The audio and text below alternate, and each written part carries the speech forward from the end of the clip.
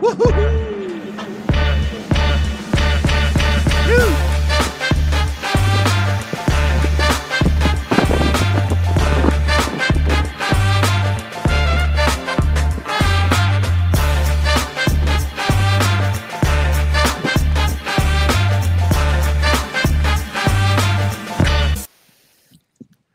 morning, Timothy.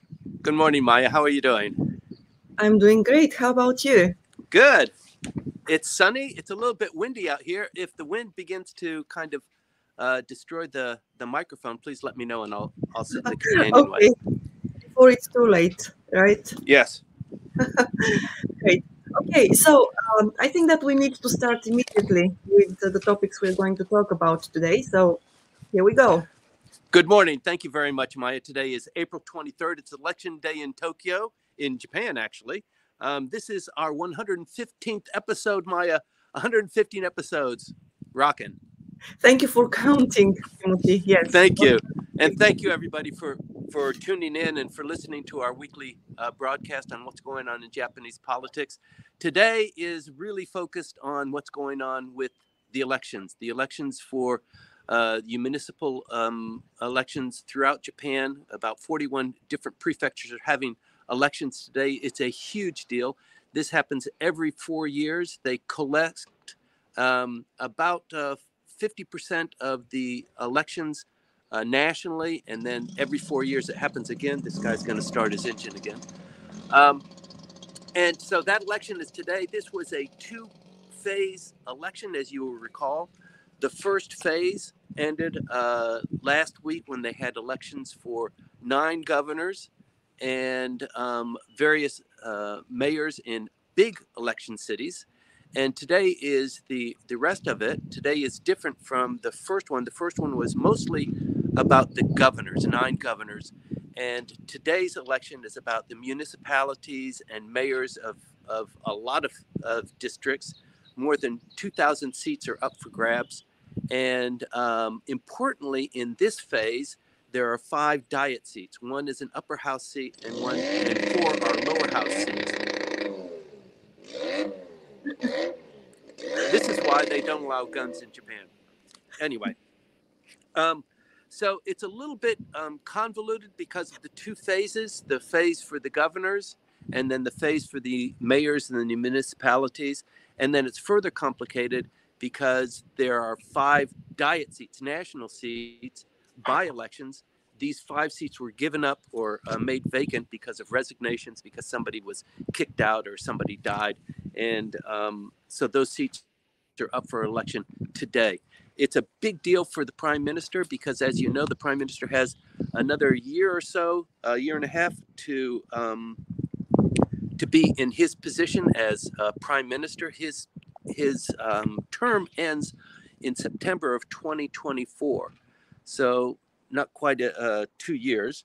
Um, and he wants to continue being prime minister, obviously. He wants to succeed what his boss, uh, the person who made him foreign minister and kept him as foreign minister, uh, Mr. Abe, was able to do in his long tenure. He wants to be not only the longest serving foreign minister, but the longest serving prime minister. And this is his first term. So, a lot is is weighing on not just this election, but probably more importantly G7, how he does in G7. And I think G7 is going to be a, a windfall for him. He's put a lot of effort, a lot of energy into making sure that that goes smoothly. There is a little bit of a uh, wrench in the works with North Korea. North Korea is providing a lot of worry right now. That's been a little bit of uh, messaging that's been going on over this last week with regard to um, you know, nuclear proliferation. And the, the main theme of, of G7, the prime minister hopes, is nuclear non-proliferation. He's hosting it in his election district in Hiroshima. And so he wants to promote that. It's a little bit of a nice trick because in um, in light of what's going on in Ukraine and the possibility of, of uh, Russia kind of uh, in, insisting on its ways and, and saber rattling with uh, limited use of nuclear weapons, um, the uh, the West, uh, the United States, and, and the coalition of forces, including Japan, is confronted with the possibility of actually responding in a similar way, and so uh, there's a lot of a lot of contention there.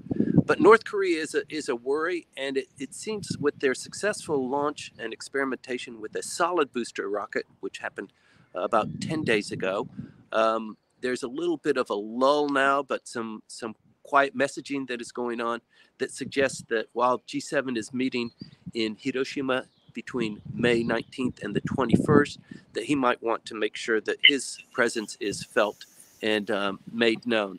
So there's there's that going on too. But back to the elections. So um, something that is um, actually a part of the election process here. It's a little bit worrying if you're really that concerned about um, the democratic process and um, the ability of people to run for office and to uh, gain the kind of election support that they need to, to hold an office.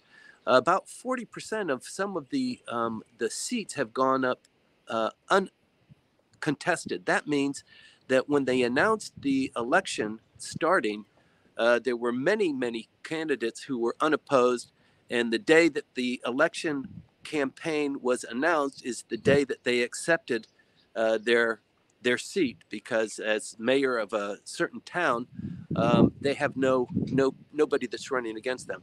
This is a an outgrowth of the declining population in many of these rural areas, particularly in um, in the northern regions of, of Japan, but also elsewhere in Japan, as as the demographics show, young kids want to go to the big cities. They want to go to university or junior college, and then they want to get a job in a big company. They want to work where you know all of their friends are, and it's not where grandma and grandpa happen to be. So uh, the the population is is flooding into these main centers, uh, Nagoya, Osaka, Tokyo, uh, Hiroshima, uh, to some extent, and the uh, rural areas are being depopulated.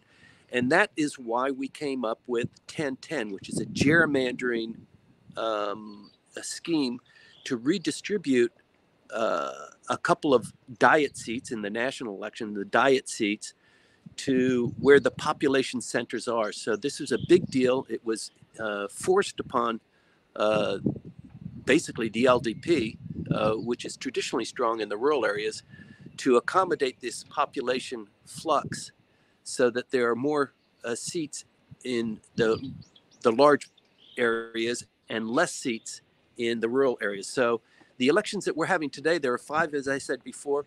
One is for an upper house member. Two are in Yamaguchi. Uh, there's uh, Wakayama and Oita. I'm sorry, Oita is the upper house um, uh, election. But in uh, Yamaguchi, uh, they have lost one of their diet seats there. So it's important for this election that the LDP wins both of those. They are predicted to win both of those. But the whole scheme tonight, you and when you watch TV, please watch TV at around eight, eight fifteen. Uh, the election results will start coming in.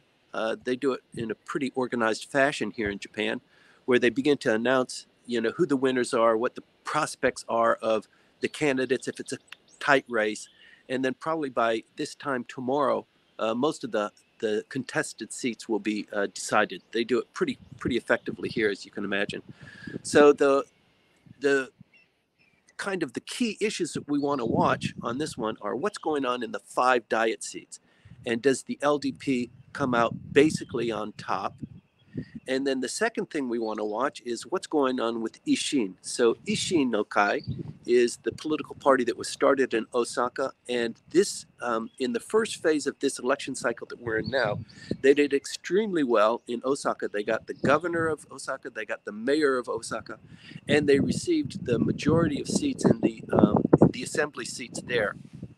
Not only that, but they also won a another governor's seat in the next contiguous prefecture, um, which was a big win for them. This was caused by um, some confusion within the LDP about who who the LDP is going to support, and it also is a bit of a reflection on LDP internal dynamics and um, uh, how they orchestrate their profile in conjunction with Komeito, which is not which has not gone very smoothly this time, but uh, in the in the vacuum of that kind of tightness between Komeito and the LDP, Ishin no Kai is coming up.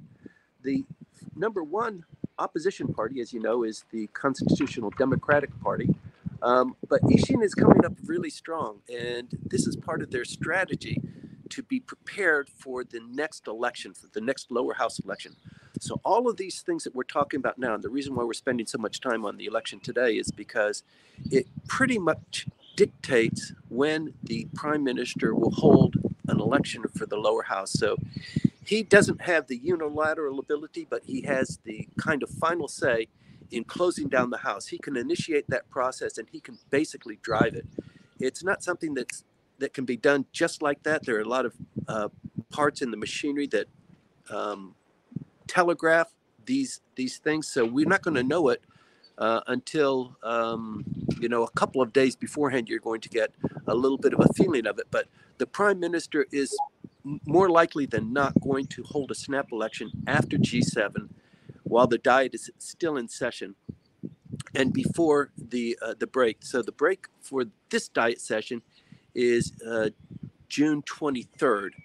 So it's 150 days uh, session. It can be extended, um, but uh, I think the, the major point and the, the major focus of, of today is the election because it rolls into G7, which starts in, gosh, just uh, almost exactly um, one month away.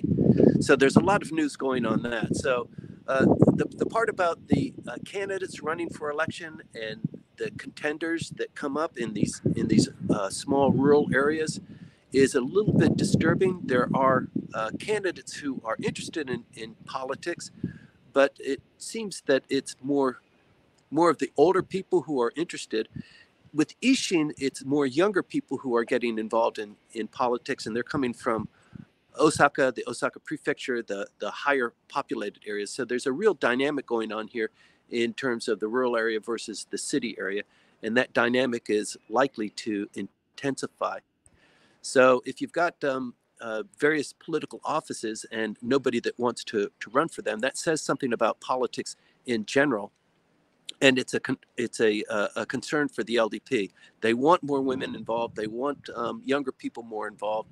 But I think Ishin is a, uh, a little bit more ahead of the game um, Ishin criticizes the LDP as being Showa politics, so politics of you know 30, 40 years ago, and Ishin is much more lively. It's it's as you might expect coming from Osaka. It's those are the distinctions, but the difference between um, the LDP and Ishin is not as great as the distinction between the LDP and Komeito, for example. Um, the only problem is that Ishin wants to have a um, uh, a kind of a, a, an independent voice. It wants to be the opposition party, um, the number one opposition party. It's got a little bit of a road to climb in order to beat out the Constitutional Democratic Party, but uh, the results will be seen in today's election. So, with the races for governors, the LDP did um, pretty well. They lost a very critical um, governor's race in Nara um, and um, I, I, hesitate to get into too much detail there because not many people are that familiar with internal uh, politics within the LDP. But typically, the local um, chapter of the LDP has a priority in selecting who the candidate will be for a lot of different um, positions, particularly for, for governor. In Nara, the local chapter recommended the incumbent to run, and the office in uh, Nagatacho, the headquarters of the LDP, recommended a different candidate. And since um, the local chapter didn't acquiesce and the central government didn't acquiesce, they had two people running for uh, governor in in Nara. Um, one of them should have kind of bowed out and supported the other candidate to ensure that the LDP would win. They didn't, and the uh, the candidate that was being suggested or recommended by the central government was a former uh, diet secretary to uh, Sanae Takaichi, and so she was promoting that, and there was a little bit of a fight between her and the local chapter. Um, nobody acquiesced, and as a consequence, the LDP split the vote and the Ishin candidate took the governor's position. This is a huge boost in the arm, and it also has a kind of a reflective or a uh, kind of a, a, cumulative effect in phase two of the elections. And so I think, um, you know, probably uh, uh, Takaichi is is going to suffer um, politically as a result of not acquiescing. There's a, an internal fight going on within the LDP now about her and her position. So there is a huge dynamic going on there. The other thing that's kind of in the background is um, should the LDP do well, it is predicted to do well. Um, the the uh, prime minister will call an election uh, shortly after G7. The timing of that will be di- dictated by the outcome of this election. So I think more so than the Constitutional Democratic Party, the prime minister is worried about the Ishin no Kai because of their their momentum, the buildup of of their uh, influence. Although polls don't put them very high in terms of voter appreciation, um, they are coming on very strong. And so, if they do uh, better than expected in this election today, the prime minister will be forced to call an election, uh, a snap election of the lower house, rather quickly after G7.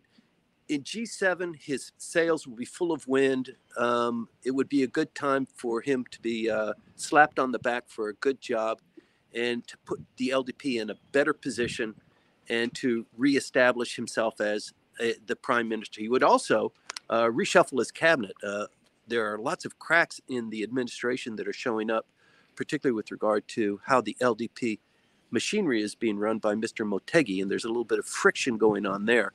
Uh, there's also some friction with uh, Mr. Nikai and uh, Mr. Kishida. So you might not have followed this, but Mr. Nikai lost a member of his faction. And in political rankings within the LDP, there are maybe five, six uh, political factions there.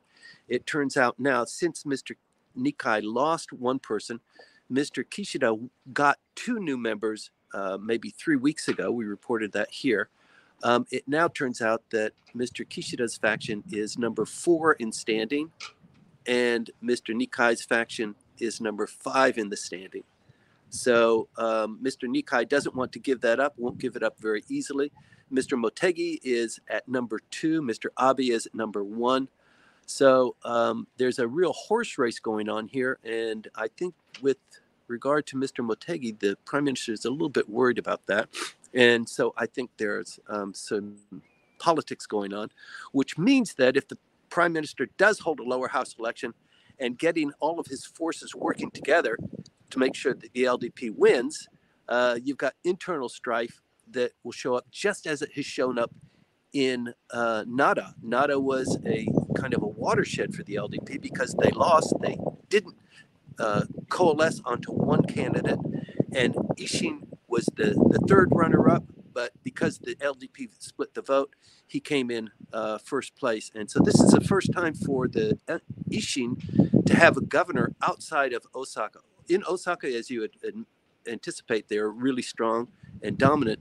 So, what happens elsewhere in Japan today with Ishin is going to tell us that the uh, the prime minister really needs to hold that um, uh, snap election sooner, so that the Ishin doesn't have time to coalesce their forces. If he gives them time, they're going to be getting more and more candidates, um, and they're going to be robbing candidates from from the LDP and from the Constitutional Democratic Party as well to run as candidates in a lower house that will be coming up um, probably within the next, next couple of months. So um, the things to watch today are um, uh, Oita, uh, the upper house election there, and in Chiba. And uh, Chiba is important. It's important because of the four lower house seats that the um, that are up for grabs today.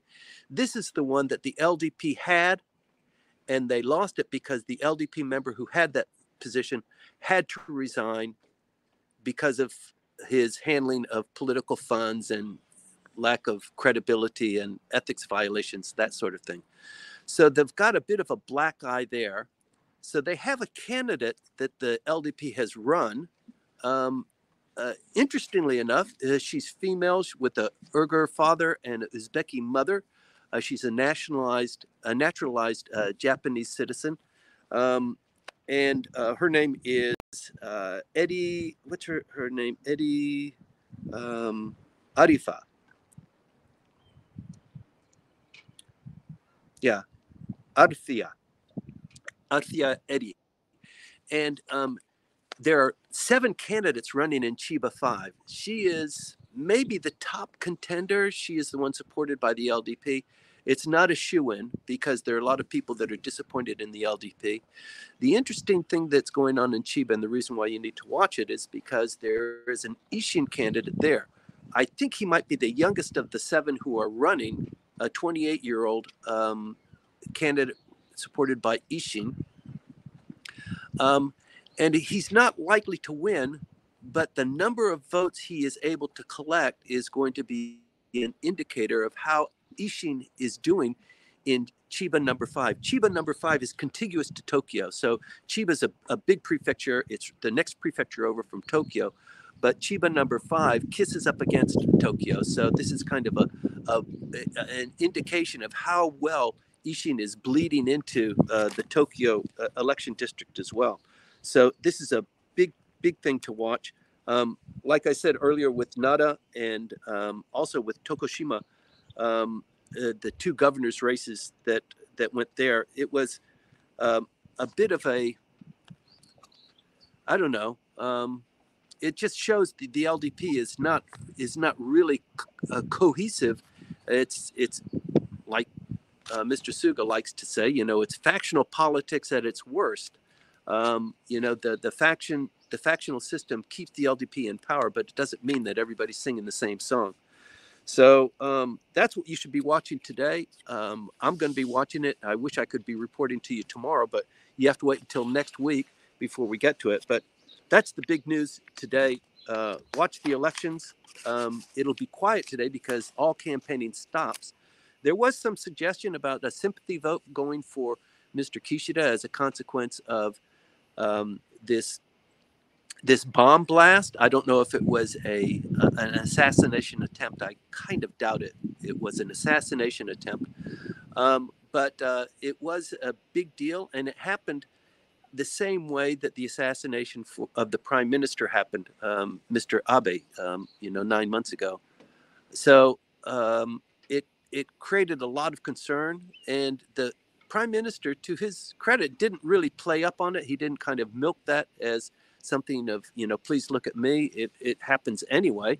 But he didn't really quite milk it. It did get a lot of coverage yesterday uh, in the press simply because um, yesterday was the day before today's election. And Mr. Abe was trumping uh, for his candidate the day before the election for the upper house um, in in the last round, and that's when it happened. So uh, the kind of it's not quite the anniversary, but the anniversary, the the representation of the identical uh, pattern uh, would have been yesterday rather than one week ago. So. Um, uh, you know, politics is funny. Today is a nice day. The weather is relatively nice, and uh, that influences the election outcome as well. So the LDP typically does well when um, everybody else stays home. Um, but when the weather is nice, then everybody wants to come out and participate in the festival that is that is known as Japanese uh, elections here in Japan. So you see everybody in the in the polling booth. So there might be a, a very good turnout today, although typically um, the uh, turnout ratio in Japan, although higher than in many countries, is is kind of low. Um, so let's see what happens today, and there will be a lot of news on that. The other thing that is in the news, and um, in light of the elections, uh, very little else is going on politically. Most of the energy is being focused on on these elections. So the only other thing that's happening of, of uh, major import is G7. So in Sapporo, they had the um, the ministers, excuse me, the ministers of the G7 uh, participants um, participating in climate, energy, and environment, and they came up with a couple of recommendations. And in Karuizawa, I think they ended on Sunday of last week. It might have gone over into Monday. The foreign ministers all met and they came up with um, uh, uh, a raft of recommendations. So typically, if you've been in Japan for very long, you understand that the meeting, everything that's decided in a meeting is already decided in the meetings before the meeting. And I think G7 is is similar to that. So what happened in Karuizawa, what happened in Sapporo, they're already finalizing what the proposals are going to be. They meet with the heads of state, excuse me, they give them the raft of what the re- recommendations are, and then everybody uh, claps hands and uh, takes photos. So I think the information that we're getting out of Sapporo and out of Karuizawa are pretty solid. In Karuizawa, uh, the G7 ministers have decided that they're going to slap tough, tough sanctions on Russia. They're going to really come down hard and uh, make sure that the uh, the Russian economy feels the wrath and also implements, you know, punitive measures to those countries that are helping uh, avoid the sanctions or to um, sidestep sanctions. And so you're going to see a ratcheting up on sanctions, and that will be announced, excuse me, um, during G7 in Hiroshima. And with regard to energy, climate, and um, uh, the environment, it looks like um, they've made uh, they've, they've not been able to make much progress there. Ultimately, the recommendation of everybody provides their own recommendation. The recommendation that is provided by uh, the Japanese delegation uh, looks like it got the most votes, and so it's pretty much a distribution among the G7 countries to deal with coal and the um, decarbonization in their own special way. There's a lot of controversy there about how France is going to do it, how Germany's going to do it. Uh, Japan has its own method of doing it, and everybody's really suffering under the the reliance on coal. And so that seems to be a stumbling block that, in light of everything else that's going on with, excuse me, with um, with the energy and uh, Ukraine and uh, what's going on with just the, the price of, of uh, consumption, um, that coal is going to be uh, with us for a little bit longer. They can't avoid that. There has been some recommendations about nuclear-fired plants or nuclear-powered uh, uh, plants and uh, new technologies there. But the, the big deal is, I think, uh, the sanctions for Russia. So more of that will come out over the coming weeks. But I think the decisions on what the agenda will be um, has been decided. Uh, the only other big news is, um, let me see we talked last week. So, for those of you that um, are regular listeners, you know that we have our typical uh, 30 minute briefing and then we have a Q&A session afterwards that is held exclusively on Clubhouse. So please sign up to that if you have um, a deeper interest or if you'd like to hear other people's views and opinions. But the issue came up last week about Ishin no Kai and why are they um, even a party to be um, worried about? Why are they a contender? How did they come up? So I thought I would just give a little bit of a, a, a snippet of what's going on with Ishin no Kai and how they got started. This is a party that started about 10 years ago in Osaka, and it's pretty much a homegrown Osaka party. Um, it was initiated by a very charismatic governor that was was there. He's still in in circulation although he's not um, a head or a leader of the party anymore. Um, but it is a party that um, pretty much it's conservative in nature about uh, revision of the Constitution, about Japan's defense policy, and about um, health care and um, uh, social services.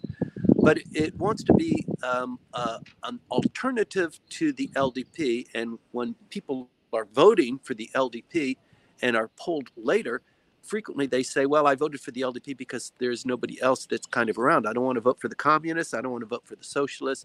So it's the LDP. It's the same refrain that we often hear when people talk about, you know, why did you vote for this person as um, whatever prime minister? And the refrain always is, well, because there is no else better around. And Ishin wants to fill that void. Different polls have put Ishin no Kai um, at a kind of a low third rate. So polls typically, and the polls currently now, uh, with regard to appreciation of the party policies with the LDP, the LDP generally generates around a 40, 45% appreciation or approval rate among the voting population.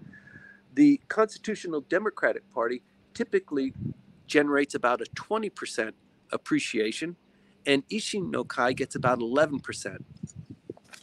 So, how that appreciation is distributed or diffused, um, if if somebody is clever enough to kind of coalesce it so that it's even though it's 11%, it's in a, a district that is important to you, and you focus that, that 11% might make the difference.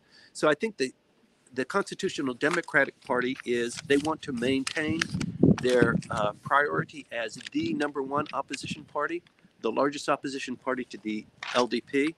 Um, but they're losing that grip, and you can see that that losing of the grip in the governor's elections and their ability to kind of coalesce forces throughout the rest of Japan.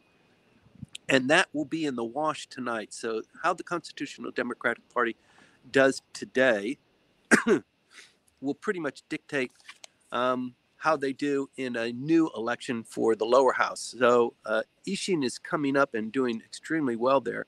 And so all eyes are on them, how they do in the election tonight. And it, it, it appears that they'll be doing in those areas that they've decided that they're going to run candidates in, it appears that they're doing um, better than expected. And certainly with the, the governor's race and the mayoral race, they have done better than expected. So the real proof is in the pudding tonight. Sorry for the congestion, Maya, but this is pretty much wraps up. Um, I don't have a clock on me. I don't know how how long I've gone over, but that pretty mm-hmm. much wraps up my my briefing for today. So, can I get Thank ready you, Timothy. Yes. okay, right on time, 32 minutes. Perfect. Great. Thank you. How is your throat? I hope that you can well, I didn't have a cup of coffee next to me, so I I'm suffering for that too. But that's too it's bad. getting better. Yeah, thank you. Okay, so thank you for the briefing. Let's move to Clubhouse and continue with the Q and A there. Great. So, okay, and to yes, to everybody who is watching us, this is Japan Expert Insights with Timothy Langley and thank me, Maya Matsuoka. Thank you Thanks for watching. For tuning in. See you next week. Yes. Next See week next will be a, a, blockbuster report because we'll be able to report on all the the election results and about uh, predictions for you know a closing down of the house and for what's going to happen in G7. Thank you. Thank you. See you, Timothy. See you. So, to everybody who is watching us on YouTube, thank you very much. If you find this content um, insightful and helpful, please like, subscribe, and comment. That's all for today. See you next week again. Bye.